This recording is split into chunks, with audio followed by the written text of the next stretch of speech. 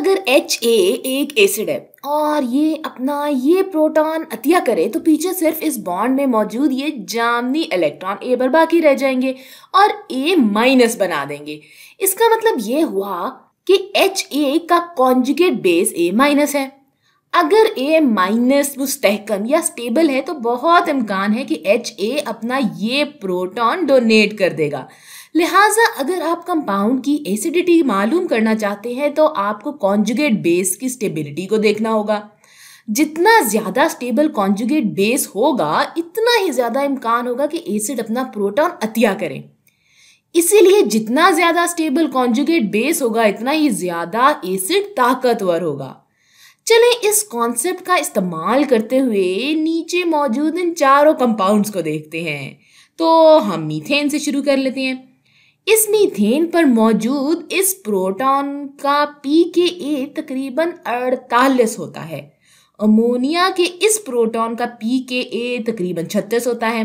अब अगर हम पानी की बात करें तो इस प्रोटॉन का पी के ए तकरीबन सोलह होता है और आखिर में हाइड्रोफ्लोरिक एसिड, यानी कि एच एफ़ का प्रोटॉन, ये वाला प्रोटॉन, इसका पी के ए तकरीबन तीन होता है।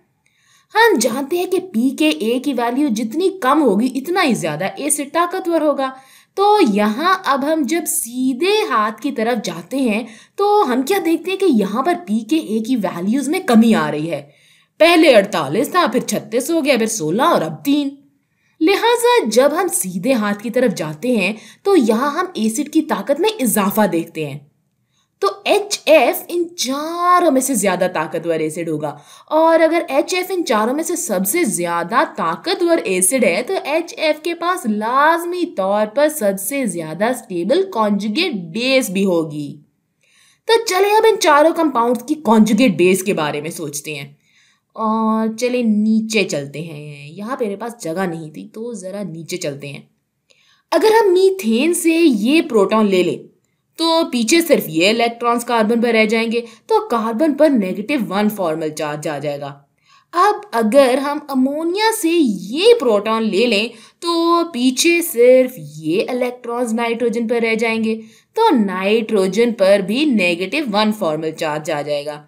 इसी तरह अगर हम हाइड्रोक्साइड एनाइन को कॉन्जुगेट बेस बनाने के लिए पानी से ये प्रोटॉन ले लें तो पीछे सिर्फ़ ये इलेक्ट्रॉन्स ऑक्सीजन के पास रह जाएँगे। और फिर ऑक्सीजन पर नेगेटिव वन फॉर्मल चार्ज आ जाएगा।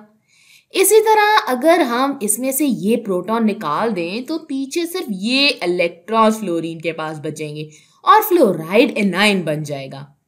हम पहले से जानते हैं कि इन चारों में से एच एफ़ सबसे ज़्यादा ताकतवर एसिड है और सबसे ज़्यादा ताकतवर एसिड के पास सबसे ज़्यादा स्टेबल कॉन्जुगेट बेस भी होना ज़रूरी है। लिहाजा फ्लोराइड एनाइन सबसे ज़्यादा स्टेबल कॉन्जुगेट बेस होगा। तो जब हम सीधे हाथ की तरफ़ जाएँगे तो स्टेबिलिटी में इजाफा हो रहा होगा। स्टेबिलिटी में इजाफा होगा। हम कॉन्जुगेट बेस की स्टेबिलिटी में इजाफा कर रहे होते हैं और हम इस ट्रेंड की वजाहत इस एलिमेंट को देखकर कर सकते हैं, जिसके पास नेगेटिव चार्ज है है ना? इसके कार्बन के पास नेगेटिव चार्ज है तो ये सबसे कम स्टेबल कॉन्जुगेट बेस होगा। फिर हम नेगेटिव चार्ज के साथ मौजूद इस नाइट्रोजन पर चलते हैं। तो इधर हम थोड़ा और स्टेबल हो जाएँगे। फिर नेगेटिव वन चार्ज वाले ऑक्सीजन की अगर हम बात करें तो यहाँ हम मज़ीद स्टेबल हो जाएँगे। और फिर आखिर में हम नेगेटिव चार्ज के साथ मौजूद इस फ्लोरीन पर चलें तो यहाँ ये हमारे पास सबसे ज़्यादा स्टेबल कॉन्जुगेट बेस होगा। ये ट्रेंड या रुझान बिल्कुल पीरियोडिक टेबल में मौजूद इलेक्ट्रोनेगेटिविटी के ट्रेंड जैसा है। तो अगर आप पीरियोडिक टेबल में कार्बन हाइड्रोजन ऑक्सीजन और फ्लोरीन को देखें कि जैसे जैसे आप पीरियोडिक टेबल में सीधे हाथ की तरफ़ जाते हैं तो आप ये जानते हैं कि इलेक्ट्रोनेगेटिविटी में इजाफा हो रहा होता है, जिसमें फ्लोरीन सबसे ज़्यादा इलेक्ट्रोनेगेटिव होता है और सबसे ज़्यादा इलेक्ट्रोनेगेटिव एलिमेंट इलेक्ट्रॉन्स को सबसे ज़्यादा अपनी तरफ़ खींचता है या अट्रैक्ट करता है। इसे अपने गिर्द इलेक्ट्रॉन्स का मौजूद होना बहुत पसंद होता है।